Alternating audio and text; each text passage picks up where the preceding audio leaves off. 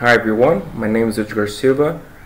I'm gonna show you right now a little demonstration of how you can extend the JBoss ESB providers in order to create new gateways which will be possible accept uh, different events from different protocols. In that case in particular we, we will be working with XMPP protocol.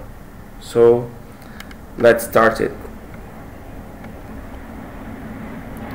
First of all, I have a very basic uh, JBoss ESB project and uh, what I have here is a Java class that's my uh, XMPP listener which is a class that implements scheduled event listener and basically I must implement the methods initialize and uninitialize right?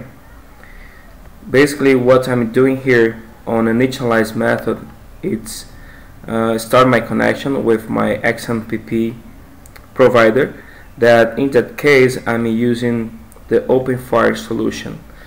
OpenFire it's a kind of a XMPP uh, server the Jabber server that you can have in your company in order to offer an uh, instant message and a chat and um, many other features for your users.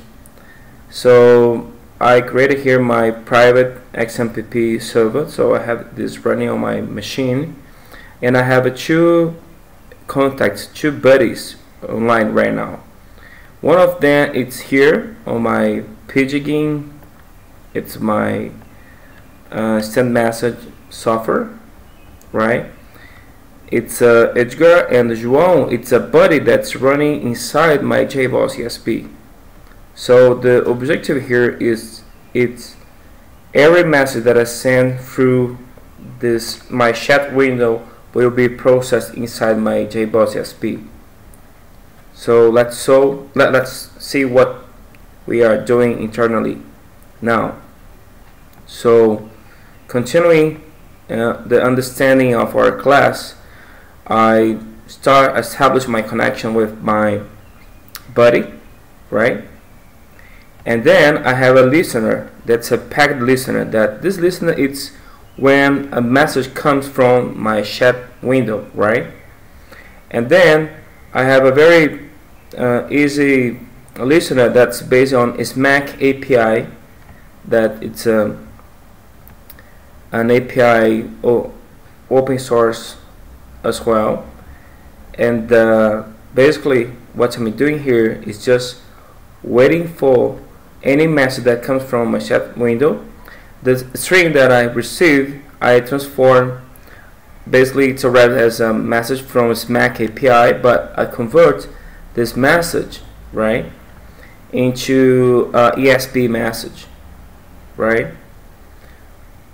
Since I converted the message from Smack to ESB message, I'm creating a component service invoker to deliver a message for a service called Jabber from category CBR. So I created the message using the content data uh, with the strings that I've received through the Smack API. I add this message in the body of my message object and then I use my service invoker to deliver a sync, asynchronously uh, this message right? And if you look at my JBoss ESB XML file, basically what I have, it's basically um, my first service is the buddy service, that's a cron schedule listener.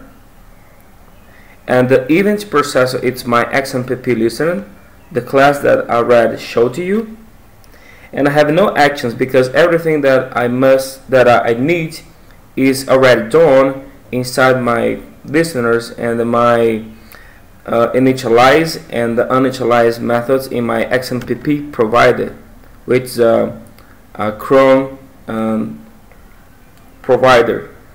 And uh, following the cron expression I can understand that once my JBoss ESB is running up, my listener be able to receive any message, right? Well, the second service is the Jabber, which has the following actions. The first one is the action that transform a CSV format message to a canonical CSV using Smooks.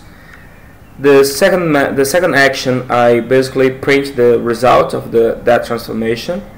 The third action is transformed to XML that basically gets the canonical XML format and transform it to a plain XML and the last one uh, basically just show the result of my plain XML everything that I'm doing here it, everything is done using Smooks so the first step of my transformation.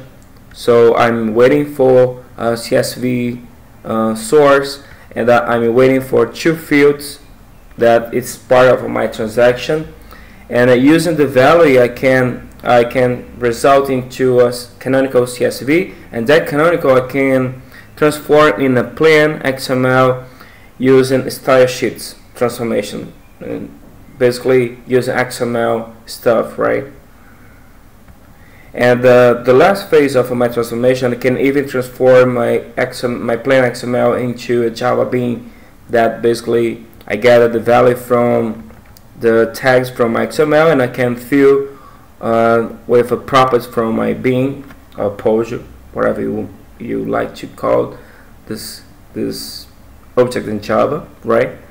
And I gather the this information from my XML transaction transaction here, transaction here, and the the tag number. Then here in that case I'm using Portuguese just for I made this purchase for demonstration in Brazil right well so let's see this example working in action so here I have my ESB running and I have my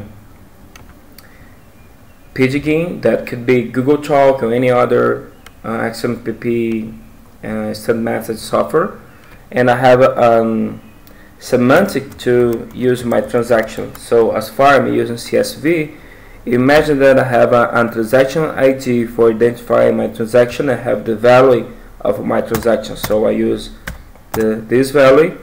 Once I press enter, ESB receive that information, process this information. So in, at, at this moment, I have this back receiving the message and then I will forward this message to my service that it's running inside my ESB and then I can see the result of my first transformation from CSV to canonical XML and the last one I can see the plain XML that I can I'll be able to do whatever I want with this data right well in this simple demonstration you you saw how you can extend your gateways in JBoss ESB. I recommend you take a look on JBoss Wiki about extending JBoss ESB providers. That there there are a lot, a lot of uh, very nice documentation, and uh, Tom Fennelly contributed with a very easy document for understand how you can create a new provider for ESB. I hope you have liked this Uh, this tutorial. Thank you for your time, and I hope to see you again. Bye.